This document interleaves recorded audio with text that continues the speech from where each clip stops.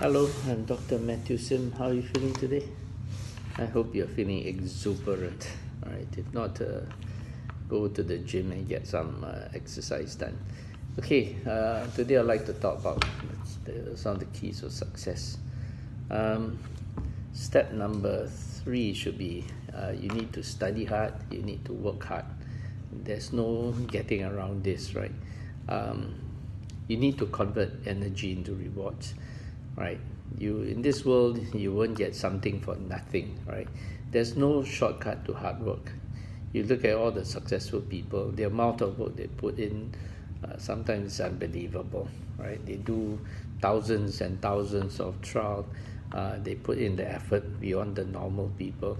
So hard work is is uh, is a given uh, if you want to be successful. So I wish you success and I hope that you I wish that you work hard for your success. I see you next time. Boom.